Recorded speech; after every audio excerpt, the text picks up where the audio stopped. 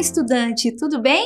A gente não se conhece, eu sou a professora Michele das práticas de matemática e nós vamos ver umas coisas bem legais da matemática das nossas aulas. Vamos lá?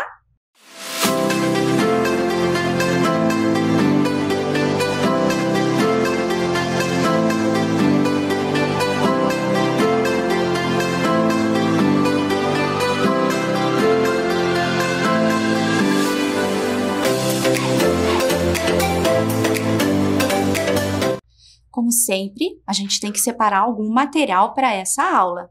Então,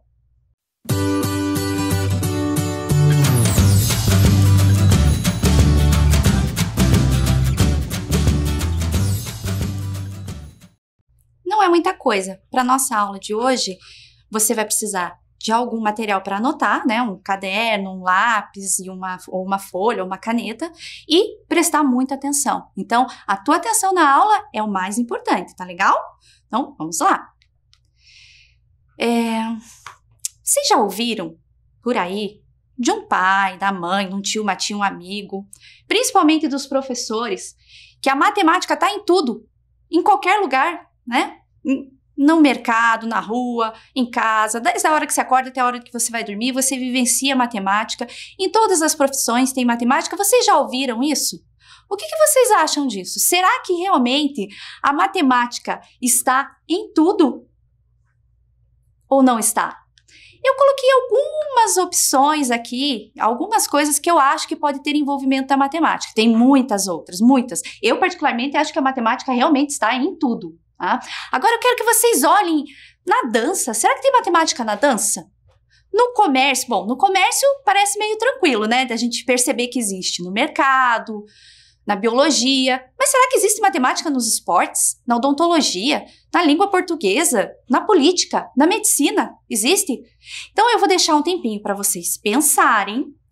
Que eu quero que vocês escrevam aí. Escolham uma, duas, três, quantas vocês quiserem, anotem e escrevam do lado o que, que você acha que tem de matemática nessa área? O que, que você imagina que tem, tá bom? Então pensa um pouquinho aí, a gente já retorna.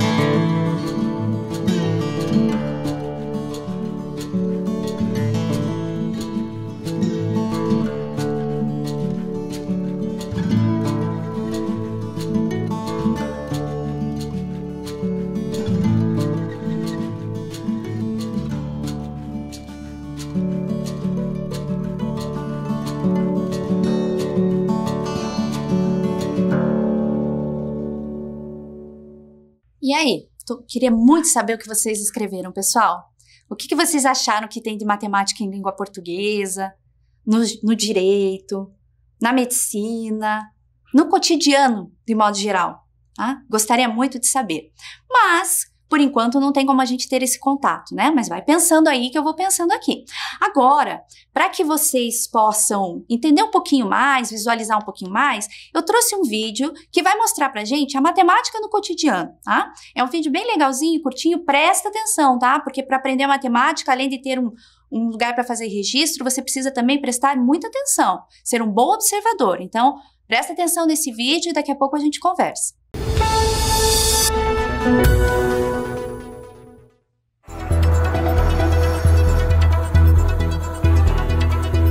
Contar o dinheiro para fazer uma compra, olhar o relógio, planejar a aposentadoria, pensar qual a melhor maneira de atravessar uma rua, construir uma estação espacial fora da Terra.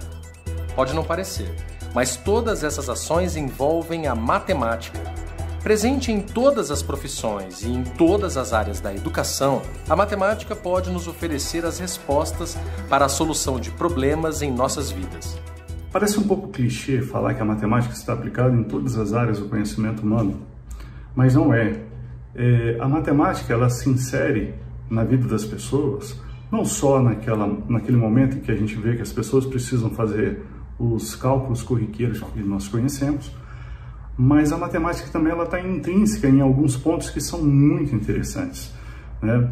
É, o conhecimento lógico, o raciocínio lógico, a, a interpretação, uh, o óbvio, né? são todas as áreas do conhecimento matemático que a gente consegue desenvolver. Você não está ensinando apenas o cálculo, não. Você está ensinando a ele como encontrar caminhos, como encontrar técnicas de se chegar no mesmo resultado, buscando alternativas diferentes, mas não fugindo à organização, à honestidade e a, a consequência lógica de se chegar nesse determinado resultado. Com o decorrer do tempo e com o avanço científico e filosófico, a matemática tornou-se essencial na sociedade devido à sua necessidade diária, pois está ligada a vários ramos, como a economia, finanças, saúde, engenharia e até ao direito. Quando você vê leis criando leis e, e, as leis às vezes elas são usadas como conectivos ou, né? O ou ele pode ter uma ideia de soma né? na matemática, no raciocínio lógico. Então você não poderia usar só um conectivo ou, você teria que usar ou ou, né? Por exemplo, você pode ir de carro ou a pé. Então você teria as duas opções. Né? Se você quiser fazer uma ideia de exclusão, você teria que colocar os conectivos ou antes e depois, como ou ir de carro ou ir a pé. Engraçado, né? Que é um raciocínio lógico, matemático, envolvendo português, envolvendo a ideia de direito. Viram que legal, gente? Tem matemática em muitos espaços, em muitos lugares. Viram? No direito. Né? Na hora que você vai compor uma frase, você precisa pensar se você vai usar ou, vai usar e. Então, ela aparece ali. Porque matemática, pessoal, não é só número. Matemática é o raciocínio lógico, matemática é probabilidade, estatística. Então, ela tem um campo de trabalho muito amplo. Por isso que ela está inserida em diversos espaços, contextos e áreas, certo? Mas nada como a gente ouvir alguns profissionais. Então, o que será que existe de matemática no comércio? O que será que existe de matemática na odontologia? Será que tem matemática? Eu trouxe para vocês alguns convidados que vão falar um pouquinho da matemática no cotidiano deles, na área que eles trabalham. Tá? Então vamos observar esses vídeos desses profissionais e depois a gente retorna para conversar. Oi, tudo bem? Meu nome é Carolina, eu sou dentista da Prefeitura Municipal de Curitiba. Vim aqui para falar um pouquinho sobre a matemática no meu dia a dia. Os cientistas utilizam muito a matemática para calcular uh, as posologias das medicações. Quando a gente vai passar o medicamento para o paciente, a gente precisa saber o peso, a frequência que a gente vai dar esse medicamento, a quantidade e tudo isso a gente faz um cálculo. Também a gente precisa calcular a quantidade de anestésico que a gente vai usar, dependendo se vai fazer uma restauração, se é um dente da frente, um dente de trás, vai mais ou menos anestésico, se vai fazer uma cirurgia. A quantidade de anestésico também vai depender do tamanho do paciente, do peso, da idade, tudo isso a gente precisa calcular. Temos materiais que a gente precisa dispensar e proporcionar eles. Então a gente divide ao meio, um quarto e vai agregando o líquido com o aos pouquinhos, cada um no seu tempo certo. Também os implantes, quando a gente vai fazer implante, a gente pede é, exames de imagem. E esses exames, eles sofrem distorções. Então a gente precisa calcular quanto o osso daquela área que vai receber o implante sofreu de distorção para a gente ter o tamanho real dele, para a gente saber se cabe um implante maior, menor, qual é a força desse implante que eu vou conseguir colocar nesse osso, o torque, então também a gente tem que calcular. É, os aparelhos odontológicos, né, os aqueles é, aparelhos fixos ou móveis, eles fazem força em alguns dentes também. A gente tem que calcular essa força máxima para que não dê algum problema nesse dente, dele ter uma reabsorção, a gente possa causar uma perda nesse dente também. Então a gente tem que calcular certinho a força máxima e também a força mínima, porque se a gente colocar uma força muito pequena, a gente não vai movimentar, não vai conseguir o resultado esperado. Nas próteses, a gente também tem que calcular peso que vai ser colocado, né, a força da mastigação ali, no dente de trás é muito maior do que no dente da frente. A gente tem que distribuir essa força uniformemente. Então, para dimensionar a prótese, a gente usa muito também. Mas acho que onde a gente mais usa é quando a gente vai fazer a parte estética, que a gente usa uma fórmula lá na antiguidade que se chama proporção áurea. Eu acho que vocês vão estar aprendendo mais pra frente. E isso aí é usado na arquitetura, os grandes artistas usam também para fazer monumentos, é, até para deixar a obra bonita. Então a gente quer um sorriso bonito e harmônico. Então a gente tem que calcular essa proporção para que esse sorriso ele fique equilibrado e tenha um resultado satisfatório para o paciente e para o dentista. A gente mexe também com os ângulos, porque dependendo do material que a gente vai usar para restaurar, a gente precisa de um ângulo de 90 graus, às vezes a gente precisa de um ângulo de 45, né? Então a gente também tem que saber essa parte de ângulo, porque dependendo do material, a gente usa um, um tipo de ângulo. Então são vários, vários os usos. Se você vai ter um consultório particular, você ainda tem a parte de cobrar, né? Os custos do seu laboratório, do seu laboratório nas próteses, o custo do seu condomínio, do seu próprio material do que você vai comprar, tudo isso para você calcular quanto você vai cobrar do paciente, né? Então tem essa parte também. E, e toda hora a gente está usando matemática. Então espero que vocês tenham gostado aqui. Né? Quem estava pensando em fazer odontologia já sabe que vai usar, tá bom? Um abraço, se cuidem. Olá pessoal, meu nome é Cleiton. Eu sou gerente de uma loja que trabalha com produtos para confeitaria. Hoje eu vim compartilhar com vocês um pouquinho da matemática que nós utilizamos no dia a dia do funcionamento da loja, seja no momento de recebimento ou armazenamento dos produtos, que engloba a parte de depósito, a, a parte de colocar os produtos também em exposição nas prateleiras, na área de venda, né? Também na parte de custos operacionais, né? Para nós sabermos se na hora que está sendo lançada a nota nós estamos tendo lucro ou prejuízo. Na parte de entrega também, onde é feito um cálculo para sabermos se a mercadoria vai chegar com preço adequado ao cliente. Também na hora de recebermos as notas fiscais, onde a gente faz a parte de custo de compra e venda do produto, para sabermos se nós estamos tendo lucro ou prejuízo. E também na parte de entrega que é feita uma logística, onde nós trabalhamos também com alguns tamanhos de caixas para entrega, e é feito também um cálculo operacional, onde nós verificamos também se a parte de entrega com motoqueiros ou com carro, qual custo seria melhor para nós. Ou se nós chamamos também uma transportadora, onde o custo é feito a partir do valor que é emitido a nota fiscal, ou pelo peso da mercadoria que é na, na parte de entrega. O, então, eu acho que isso aqui engloba a matemática do comércio. Oi, gente. Meu nome é Mabel Borsato. Eu sou professora colaboradora do curso de Bacharelado e Licenciatura em Dança da Unespar, a Universidade Estadual do Paraná. E eu tô aqui a convite da professora Michele para a gente conversar um pouquinho sobre as possíveis conexões entre a dança e a matemática. É, logo de cara, a gente pode pensar né, num tipo de dança que experimenta o movimento muito pela contagem dos passos. Isso é um tipo de experiência em dança, mas o meu convite aqui pra gente é pensar a dança e a própria matemática com um pouco mais de investigação e invenção, né? Como que a experiência com os números é, é um tipo de experiência que acontece no corpo, com esse aprendizado que acontece aqui no nosso corpo, assim como na dança, e é uma experiência que vai ter abertura para a gente experimentar e inventar. Então, quando eu penso nos meus processos artísticos, é, em como eu crio as minhas danças, eu penso muito em composição, em decomposição, em conexões, em como que eu vou ter um sistema lógico, né? Um jeito de sistematizar e de organizar movimento para aquilo que eu quero posicionar e que eu quero questionar o mundo.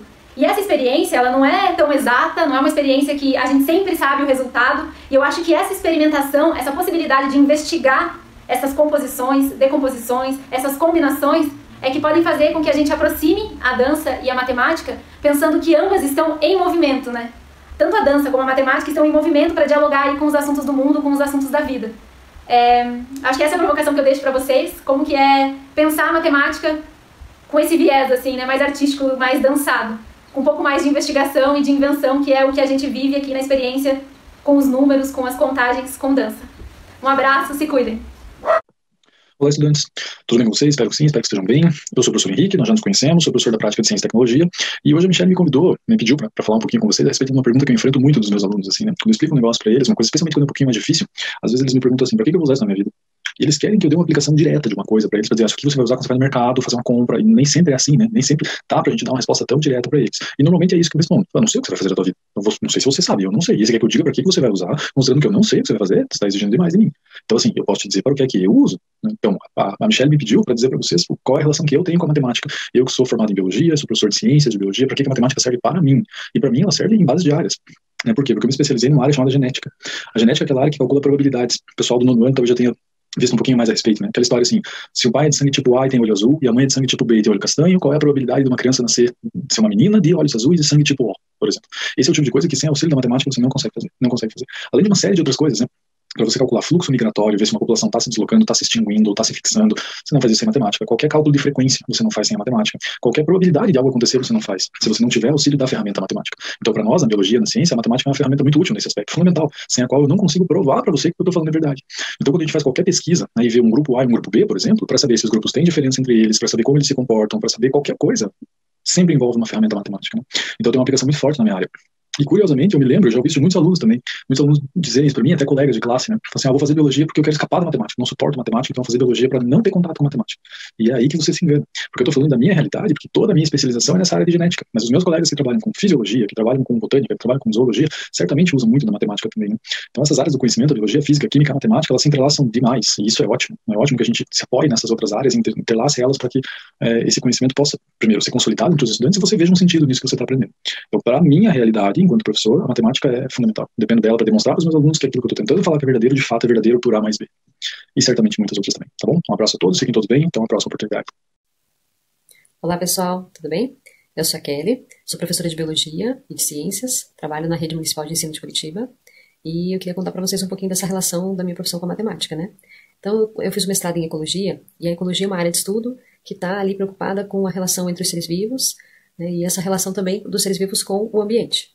É, então, nesse estudo científico, a gente percebe que tem muita matemática. Eu não imaginava que seria tanto assim, mas ainda em vários estudos a gente percebeu a necessidade do uso da estatística, que é uma parte né, da matemática, e aí os modelos matemáticos ajudam a gente a explicar um pouquinho melhor como é que funciona essa distribuição das espécies, como é que funciona a abundância dessas espécies. Então a gente usa muita matemática para conseguir compreender é, qual, qual, é o padrão da distribuição e de abundância das espécies. Eu fiz um estudo com, é, sobre peixes, sobre reprodução de peixes em hidrelétricas, e eu percebi que algumas espécies é, quando elas estão presentes, outras não estão. Então, pode ser que tenha um mecanismo de predação envolvido.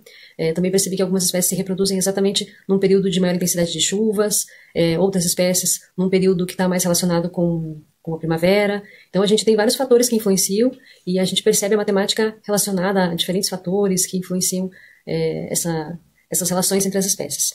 Então, aqui é o meu relato um pouquinho para vocês perceberem que tem muita matemática também quando a gente está estudando biologia e dentro da biologia, a parte da ecologia.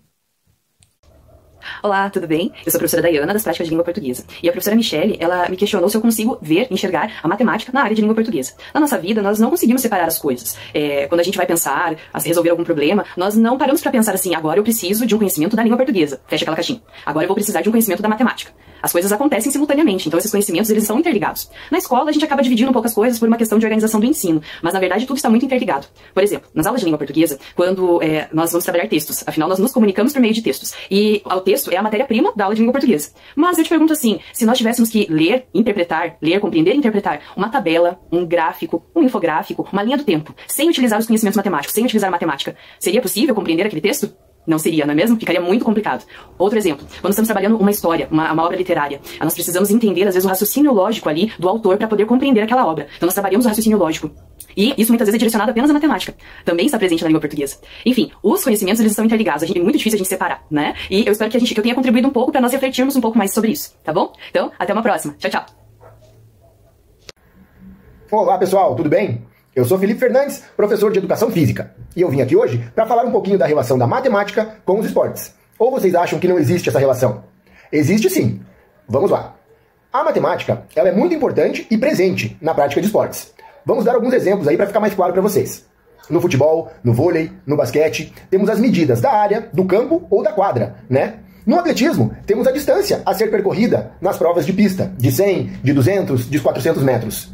Temos também os saltos em distância, arremesso de peso, de disco, além das probabilidades. Quando temos uma disputa de pênaltis ou arremesso de basquete e até mesmo nos saques dos jogadores de vôlei. E no jogo de golfe, tem matemática? Tem sim. Qual o ângulo da tacada que o jogador de golfe vai ter que definir para acertar a sua bola no buraco? E no futebol, quem nunca ouviu a expressão chutou a bola no ângulo? Que significa acertar a bola no canto de 90 graus, formado entre a trave e o travessão do gol. Esses são alguns exemplos do envolvimento da matemática nos esportes. Hoje em dia, os atletas é, eles não vão às grandes competições, Olimpíadas, Copa do Mundo ou campeonatos mundiais de esportes específicos, acompanhados somente por seu treinador, seu fisioterapeuta ou nutricionista, no caso. Esse tempo acabou, não existe mais. Pelo menos para os verdadeiros profissionais, né? Porque muitas equipes passaram a contratar matemáticos e estatísticos para fazer parte do grupo com o objetivo do quê? De coletar dados, né, levando em consideração as estatísticas e o scout da partida ou do treino realizado. E o que é essa palavra chamada scout?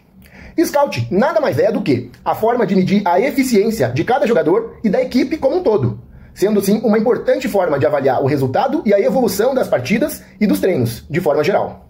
Por exemplo, em uma partida de futebol, a minha equipe realizou 10 chutes a gol. Né? Na partida toda, a minha equipe realizou 10 chutes a gol. Desses 10 chutes, oito foram na direção do gol e dois foram para fora do gol, né? Então eu posso considerar que a minha equipe teve um, um aproveitamento positivo nesse fundamento de chute a gol, né? Mas nessa mesma partida, eu verifiquei uma falha nos passes do meu time. Por quê? Porque os números da matemática me mostraram que a minha equipe realizou mil passes nessa partida e acertou apenas 300 passes, ficando com um aproveitamento negativo, né? Por quê? Se, eh, se dentre os mil passes que nós fizemos durante toda a partida, nós acertamos só 300, quer dizer que a gente errou 700 passes. É um número muito grande. Então, esses números matemáticos me mostraram que eu devo priorizar no meu treinamento o fundamento do passe, né? Para que eu possa melhorar isso no próximo jogo. Então, vimos o quê? Que o scout serve para melhorar o aproveitamento com o intuito de aperfeiçoar o grupo ou o atleta individual, a partir dos números que a matemática vai me mostrar. Né? E para não me estender muito aqui, vamos falar também do recorde do atleta mais rápido do mundo na prova dos 100 metros rasos, no atletismo, o jamaicano Usain Bolt. Usain Bolt é o homem mais rápido do mundo, com a marca de 9 segundos e 58 centésimos. Alguns estudos mostram que para chegar nesse recorde, nos 100 metros, no ano de 2009, no Campeonato Mundial de Atletismo em Berlim, esse atleta ele atingiu uma velocidade, pasmem aí, de 43,4 km por hora, dando passadas que atingiam 2 metros e 43. É fenomenal, né? Então, é uma curiosidade da matemática também. Envolve a matemática essa curiosidade e esse estudo. Então, assim, nós vimos que a matemática ela está muito presente nos esportes e eu espero ter ajudado. Falando um pouquinho aqui do esporte, que é a minha área, porque quem conhece a matemática mesmo é a professora Michele. Até mais, pessoal. Tchau. Que interessante, não é, pessoal? Quem já pensou na odontologia? Olha quanta matemática. Viram que legal que a, a, a doutora Carolina falou sobre a, a, a medida áurea? A gente pode conversar sobre isso nas outras aulas. O que vocês acharem interessante, que vocês viram no vídeo, vocês podem anotar, porque no final da aula eu vou passar um e-mail para vocês mandarem. Que curiosidade, o que, que vocês gostariam de aprender de matemática? Então, se alguma coisa chamou atenção, manda para nós e a gente pode conversar na nossa próxima aula. Na dança, quem já pensou? No comércio a gente meio que já imagina, né, algumas coisas, mas o Clayton falou de coisas bem diferentes ali, né? Não é só conta. Olha quanta coisa ele precisa ver, até o tempo, né, a distância do local, se vale a pena ir de moto ou de carro, né, para entrega. Então, tem uma série de questões aí, a previsão de estoque, quanto que vai comprar ou não. Então, vai além só da, da, do cálculo numérico, né? Do somar, do fazer troco, do dividir. Tem outras coisas interessantes. E no, na, na, na dança, quem pensou que tinha matemática na dança? Ah, eu vou fazer matemática porque não vou. Vou fazer dança porque eu não vou precisar ter matemática. Tem também o raciocínio lógico, como ela falou ali, a composição, a decomposição, prever o meu, o meu próximo passo, montar a minha coreografia, tudo isso envolve, não é só a contagem, né? Então tem bastante coisa em bastante áreas que envolve a matemática. Não é interessante? Então, guarde aí, se tiver alguma coisa desses profissionais que você viu, que você queira saber um pouquinho mais, manda que na próxima aula a gente pode conversar sobre isso, tá? Bom, se tem matemática em tantos espaços, em tantos lugares, em tantas áreas, de onde que ela veio? Hum? Quem que, quem que trouxe isso, né? Será que essa matemática aí, ela foi criada ou ela foi descoberta? Alguém foi lá e, nossa, olha aqui, achei, né? Ou alguém inventou, ah, eu vou inventar um negócio para resolver uma situação. Essa pergunta, gente, eu quero que vocês pensem um pouquinho sobre ela, mas essa pergunta é uma pergunta que há anos vem intrigando muitos matemáticos, mas há muitos anos mesmo, desde o início aí da, da, da era da, do milênio, né, de muitos anos atrás ainda, antes de Cristo. Então, os matemáticos mais é, famosos, né, que tem os teoremas, como Pitágoras, eles sempre tinham dúvida, né, havia um, uma discussão entre eles se a matemática foi descoberta ou foi criada, inventada pelas pessoas. E até hoje, isso ainda é uma dúvida entre os matemáticos mais contemporâneos, né? Então, por exemplo, o Pitágoras, o, o Euclides, ele dizia que a matemática foi descoberta. Então, que a natureza, né, tava lá, e daí a manifestação física da natureza, da, da das leis da matemática, era essa natureza. Então, a gente descobria a matemática na natureza. Euclides de Alexandria foi um matemático famoso, e até hoje a gente estuda a geometria dele, a geometria euclidiana. Ele escreveu 12 livros que tem vários tratados, axiomas, teoremas sobre a geometria. Então, ele é, é o pai da geometria, digamos assim, né? Claro que muitos matemáticos matemáticos já vieram com outras teorias, mas ele ainda é uma base importante dos nossos estudos de geometria. E ele dizia que as leis da matemática eram uma manifestação física da própria natureza, então ela foi descoberta. Tá? Mas o Aristóteles, ele já falava que ela foi inventada. Olha lá o que ele diz que os objetos matemáticos eram criados a partir dos objetos físicos, quando se abstraíam deles certas propriedades e se mantinham outras. Então, a gente inventa a partir de alguma coisa que a gente observa. A gente pega os objetos, inventa alguma coisa, resolve alguma situação, criando uma matemática para aquilo. Tá? Então, aí já tem uma controvérsia bem grande, né, entre grandes pensadores. E o Pitágoras, quem já ouviu falar aí do teorema de Pitágoras? Pitágoras é esse senhor aí. Ele falava que tudo era número. Para ele, o número era uma coisa sagrada, tudo era número, tudo era matemática. Os números governam o número, o mundo, o, tudo é número. Então, ele, ele dizia que tudo a gente podia resolver por meio dos números, né? Que é, e os seguidores deles, que eram chamados de pitagóricos, também. Né? Então ele dizia que a matemática foi descoberta, que os números estavam em tudo e a gente ia descobrindo isso. Né? Que intrigante, né? Eu, particularmente, acho que é mais ou menos descoberta, mais ou menos criada, inventada, né? Porque a gente encontra alguns padrões na natureza e a partir desses padrões vai criando algumas coisas. E os matemáticos de hoje, os contemporâneos, os mais recentes, eles também ficam nessa indecisão, nessa né, diversidade de opiniões, né? Mas isso não influencia nada o estudo da matemática, né? Então nós temos aí, por exemplo, o John Bush, que é um matemático famoso e, e contemporâneo, que ele fala lá, ó, que quando você olha a flor descobre a matemática, mas isso é natureza e nós criamos a linguagem. Então, você descobre a matemática da natureza e você cria uma linguagem matemática para explicar aquilo ou para resolver alguma situação a partir daquilo. Então, ele mais ou menos pensa isso, né? Que ela é descoberta e ela também é criada. Ah, o John Bush ele é professor do MIT, que é o Instituto de Tecnologia de Massachusetts, tá bom? Então, é um, uma pessoa que estuda bastante matemática. Outra pessoa bem importante da matemática é o professor Marcelo Viana. Ele é diretor do INPA, que é o Instituto de Matemática Pura e Aplicada que é aqui do Brasil. Então, o Marcelo Viana, desse instituto e das pesquisas do professor Marcelo Viana, saíram muitas contribuições para a matemática do mundo todo. Ele também é categórico em dizer que a matemática foi descoberta, tá? que a gente descobriu ela na natureza. O senegalês Kadi ele fala que parte foi descoberta e parte foi inventada, que é mais ou menos o que o John Bush falou ali, né? E se a gente olhar um pouquinho, é mesmo isso, né? Os outros matemáticos também falam isso, por isso que é muito controverso. Tem horas que você fala sobre ela e parece que você descobriu, e tem horas que você fala sobre ela e, e foi e parece que ela foi é, criada, inventada pelas pessoas, né? O Arthur Ávila, que foi o ganhador da medalha Fields em 2014, também brasileiro, aluno do IMPA, Tá? Ele fala que a matemática foi descoberta. Então, esse é um assunto ainda que vai, ó, vai dar tempo aí de discussão entre os matemáticos e matemáticas do mundo, tá? Só uma coisinha, medalha Fields, vocês já ouviram falar? Também é uma curiosidade que a gente pode ter numas próximas aulas aí, ou sobre algum desses matemáticos contemporâneos e brasileiros, se vocês quiserem saber mais sobre eles, ou sobre os o Pitágoras, ou qualquer outro que, que interesse vocês, manda curiosidade para a gente pesquisar. A medalha Fields é um prêmio importantíssimo, tá? Que um matemático ou matemática ganha quando ele consegue é, realizar uma grande contribuição para a matemática. Ah, o Arthur Ávila, ele ganhou esse prêmio, é como se fosse um prêmio Nobel, só que na matemática. Ah. E uma curiosidade dessa, dessa, desse prêmio é que você só pode receber ele antes dos 40 anos. Passou dos 40 anos, você não pode mais receber. Teve um matemático aí que resolveu um teorema, um teorema muito importante, e ele estava com 41 anos e ele acabou não recebendo o prêmio. Quiser saber mais sobre isso, fala aí que depois a gente pode pesquisar, tá bom? Então, aí uma coisa para a gente pensar. Ah, você pode mandar para mim também no e-mail se você acha que ela foi descoberta, inventada e por quê, e a gente pode discutir mais sobre isso. O que, que vocês acham? Tá? Bom, gente, se ela foi descoberta, se ela foi inventada, se ela está em todos os cantos, da onde que veio? Como é que começou tudo isso? Tá? Uma coisa que é bem interessante da gente saber é a história por onde foi passando e se desenvolvendo a matemática.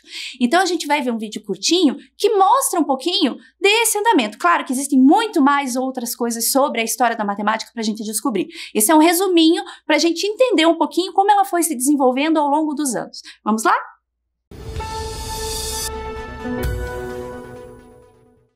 A matemática, como a conhecemos hoje, não teve nenhum inventor específico, mas foi criada a partir da necessidade das pessoas em medir e contar objetos. Em 3100 a.C., no Egito, surgem os primórdios da álgebra, da geometria e da matemática aplicada para alguma finalidade. Na Índia, equações de segundo grau já eram feitas para completar construções em quadrados. Os chineses inventaram o tangram, uma espécie de quebra-cabeças usado para fazer contas e medições.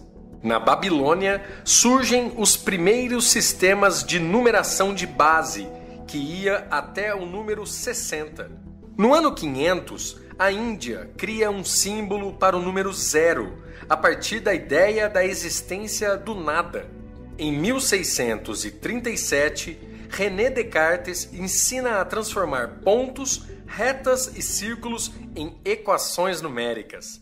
Em 1737, surge o número π como um número irracional. No século XVIII, surge a matemática estatística, criada na Alemanha. Com a Revolução Industrial, a matemática se desenvolveu de forma extraordinária. As indústrias e as universidades se tornaram um vasto campo para o estudo de novos teoremas e invenções de todo tipo. A teoria da relatividade, criada por Albert Einstein no século XX, deu uma nova perspectiva sobre a compreensão do espaço do tempo e até mesmo do ser humano. É possível dizer que, atualmente, estamos na idade de ouro da matemática. A história tem mostrado que aquilo que nos parece pura abstração, pura fantasia matemática, mais tarde se revela como um verdadeiro celeiro de aplicações práticas e soluções para a humanidade. Viram que legal? Muito interessante. Eu adoro a história da matemática. Tem um monte de coisa bacana. E estudando a história da matemática, a gente consegue entender uma porção de coisas, de conceitos que às vezes fica meio confuso na cabeça da gente. Então, história é uma coisa interessante de estudar também. Que tal você procurar aí alguma curiosidade que te chame a atenção e mandar para a gente pesquisar um pouquinho mais? Vamos lá, eu vou esperar você responder o e-mail, tá legal?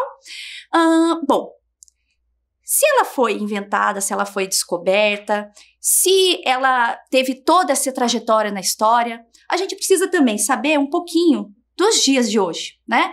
Como é que tá nos dias de hoje? Será que a matemática contribuiu para a gente entender e buscar soluções para a questão da pandemia? Será que a matemática, os cientistas né, da matemática conseguiram contribuir com alguma coisa? Então, eu trouxe para vocês o professor, o professor Marcelo Viana, que é diretor do IMPA, que nós falamos já dele, e ele vai falar um pouquinho sobre a importância que foi o trabalho da matemática nessa, nesse período pandêmico que nós estamos vivendo. Ele traz as contribuições que nós, que nós matemáticos, né, que os matemáticos do mundo fizeram para tentar conter e ajudar na contenção e na resolução da pandemia. Então vamos olhar um pouquinho, vamos prestar bastante atenção que se você tiver curiosidade sobre esse vídeo também, você pode mandar para a gente estudar mais, tá? Vamos lá? A pandemia é uma tragédia e estamos todos torcendo para ela acabar logo e a vacina vir, enfim, o assunto, a, crise sanitária ser resolvida, mas ao mesmo tempo ela foi também é, uma oportunidade para colocar perante a, a sociedade de maneira muito clara a importância da ciência uma hora dessas, é, todos nós corremos para o conhecimento, para a pesquisa, é, para a ciência, para encontrar soluções. E durante bastante tempo, a única ferramenta que, que, que nós, as autoridades, é, dispusemos, dispuseram foi, foi a matemática, com, com a sua modelagem da progressão da, da pandemia.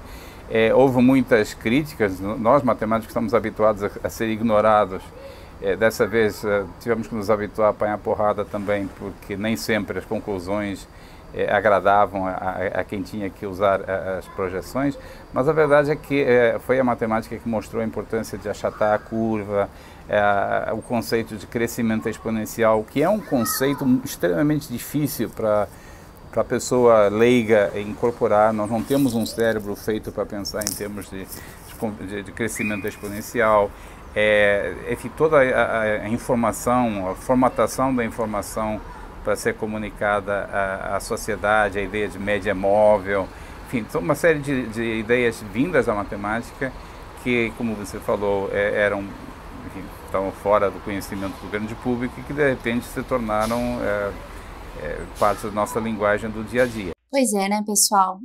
E pior que os matemáticos estavam certos. Né? A, o crescimento realmente foi exponencial. Esse crescimento exponencial que o professor falou ali que é difícil da gente tentar entender, porque ele é muito grande, muito rápido, né? E foi isso que aconteceu. É, para a gente tentar entender um pouquinho melhor, eu trouxe alguns exemplos bem simples para a gente fazer entendendo o que, que foi acontecendo que teve esse crescimento alarmante aí da pandemia, tá? Então, prestem atenção no que nós vamos ver agora, tá? Porque a gente vai entendendo um pouquinho o que é esse crescimento exponencial. Claro que com um exemplo mais simples, tá? Porque exponencial vem de expoente, vem de potência, vem de multiplicação, então a gente tem que entender um pouquinho o menor para compreender como que foi essa expansão, tá? Bom, a gente ouviu algumas questões bem comuns aí nessa época de pandemia, né? A gente ouviu isso no jornal, ouviu das pessoas, frases como essa: probabilidade de contaminação, número máximo de infectados, previsão de ocupação de leitos, distanciamento social, achatamento de curva. O professor Marcelo falou no vídeo lá, né? Achatamento de curva. O que, que é essa curva que a gente quer achatar? Né? O que, que significa achatar essa curva? O que, que significa essa probabilidade de contaminação? Então, nós vamos ver um pouquinho agora para tentar entender a previsão que foi feita pelos matemáticos, né? E que, infelizmente, eles estavam certos, nós estamos vendo aí em um ano de pandemia. Tá? Então, eu vou começar com um exemplo bem simples de um gráfico para vocês entenderem, tá? Presta atenção aí na tela, olha bem o que está aparecendo, tá? Então, nós temos lá, no eixo vertical, o número de infectados. No eixo horizontal, nós temos o tempo desde o primeiro dia de, de, do primeiro caso, tá? Isso é um exemplo, pessoal. Bom, aí nós temos uma linha tracejada ali no meio, que é o limite de vagas nos hospitais, tá? Isso daí é muito importante a gente prestar atenção. Então, até aquela linha é o tanto de vagas que tem nos hospitais. Se passar daquela linha, não tem mais vagas nos hospitais, né? Que é esse topo aí, esse, esse alto dessa curva, tá vendo que ela tá alta? Olha aí na tela, ela tá alta, né? Então, é sem quarentena, sem os cuidados, sem nenhuma é, prevenção, né? Sem vacina, sem nada. A gente tem essa curva subindo e passando cada vez mais daquela linha que falava do, da, do número de leitos que nós teríamos no, no hospital. Então, o que, que a gente precisa fazer? Achatar essa curva, é amassar ela, como se a gente colocasse a mão em cima, lá no topo, e amassasse. E como que isso acontece? Para a gente fazer essa, essa curva descer e sair desse topo que está aí. A gente tem que evitar sair, se for possível, né? É, sempre que sair, usar máscara, manter distanciamento, cuidar com a higiene das mãos, lavar álcool em gel o tempo todo, não colocar a mão na boca, no olho, no ouvido, lugar nenhum. Tomar muito cuidado, tá? Porque a gente precisa achatar que se alguém ficar doente, tenha vaga para essa pessoa no hospital. Porque esse é o grande problema. Se não tiver vaga, a pessoa não tem como ir para o hospital para eh, colocar o tubo de oxigênio, tudo aquilo que é necessário quando a pessoa está muito afetada pelo, pela Covid. Então, por isso é importante achatar essa curva. Então, quando os matemáticos, os cientistas falam, vamos achatar essa curva, vamos achatar, é isso. São os cuidados e prevenções que nós precisamos fazer para que a gente não passe número de doentes do número de, de, vagas. Aconteceu isso? Já não aconteceu? Nós tivemos que fazer, tivemos uma fase de bandeira vermelha, de lockdown no Paraná todo, né, em outros estados também, em outros países países. Por quê? Porque tinha, não tinha vaga nos hospitais para as pessoas que estavam muito doentes. E daí pode-se acontecer mais mortes, infelizmente. Por isso, esse cuidado é muito importante, tá? E isso veio de um estudo da comunidade científica de matemática, que fez uma observação de como os casos estavam crescendo, e a partir dessa observação eles fazem um gráfico, e desse gráfico pode fazer uma projeção para saber como vai acontecer, porque matemática analisa padrões. Elas observam que existe uma repetição e, e a partir daí dá para saber o que vai acontecer, né? Prever, fazer uma, uma previsão dos próximos passos aí do que vai acontecer. Vamos observar esse exemplo aqui mais simples, tá? Então ali a gente tem um gráfico, de novo, olhem na tela. Eixo vertical, número de infectados. Eixo horizontal, tempo desde o primeiro caso, do primeiro dia. Então vejam lá, no primeiro dia, tá, eu tinha um infectado. E aí é um exemplo, tá, pessoal? Não quer dizer que foi dessa forma. No primeiro dia eu tinha um caso. No terceiro dia, esse, essa uma pessoa infectou outra. Então, no terceiro dia, eu já ia ter duas pessoas infectadas. No sexto dia, essas duas pessoas infectaram mais duas. Então, eu já vou ter quatro pessoas infectadas. No nono dia, essas quatro pessoas, cada uma delas infectou mais uma. Isso a gente supondo que cada uma só vai infectar mais uma, né? Então, eu já tinha oito pessoas é, infectadas no nono dia, tá? Puxa, parece pouco, né? Parece muito pouco, mas a gente pode perceber que existe um padrão.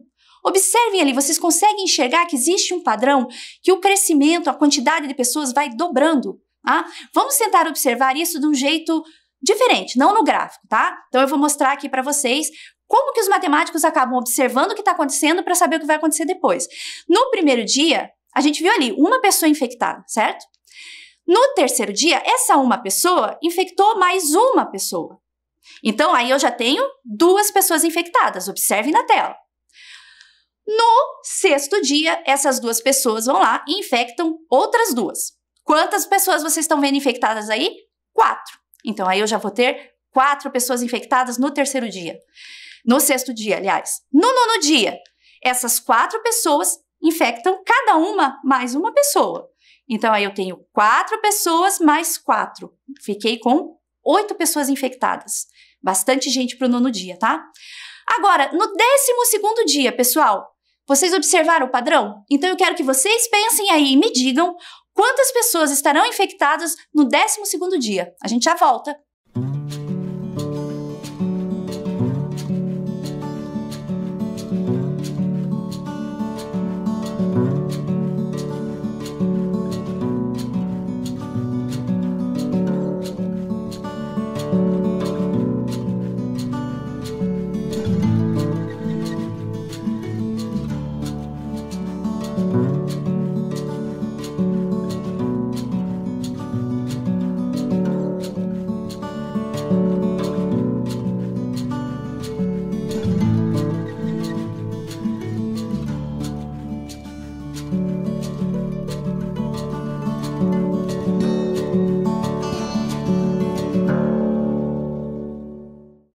Pessoal, calcularam observando o padrão? Me diga aí o que vocês encontraram. Então, eu tinha oito pessoas. Se cada uma delas infectar mais uma pessoa, eu vou dobrar a quantidade, né? Então, no décimo segundo dia, eu tenho aquelas oito pessoas, mais oito que foram infectadas, e eu vou ter 16 pessoas contaminadas. É muita gente pro décimo segundo dia, né? Olha lá, uma, depois duas pessoas, depois quatro, oito, 12, 16, e eu tenho que no 12 dia eu tenho 16 pessoas contaminadas. Parece pouco 16 pessoas, mas e se a gente analisar isso daí no período de um mês? Tá? Vamos observar a tabela. Olha só, primeiro dia uma, terceiro dia duas, sexto dia quatro, nono dia 8. Vocês percebem que vai dobrando conforme vai passando o tempo? Décimo segundo dia, como vocês encontraram aí, 16. Décimo quinto, 32. Décimo oitavo, 64. Vigésimo primeiro, 128 pessoas contaminadas. Vigésimo quarto dia, 256 pessoas contaminadas. Vigésimo sétimo dia, 512 pessoas contaminadas. Quantas pessoas vão estar contaminadas quando der 30 dias? Um mêsinho só, rapidinho. Quantas pessoas? Me diz aí, a gente já volta.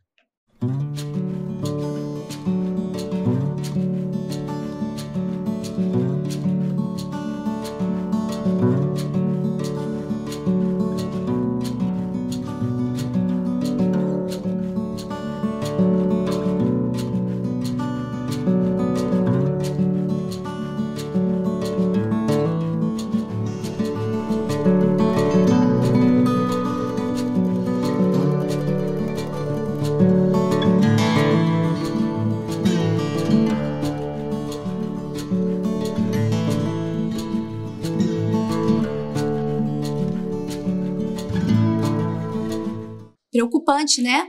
Tão preocupante que nós vimos como ficou a situação em um ano de pandemia. Né?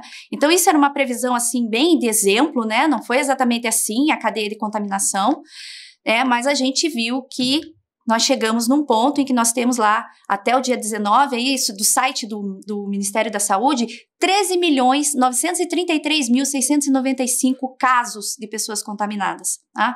Então, continuem fazendo o que vocês precisam fazer, tá, pessoal? Cuida, usa máscara, se puder, fica em casa, para que a gente consiga achatar essa curva. E agora, gente, curiosidades, o que você quer saber? Manda para mim nesse e-mail, oficinasdointegral.gmail.com. Eu vou esperar a tua resposta para a gente poder pesquisar na próxima aula. Espero que vocês tenham gostado. Tchau, pessoal!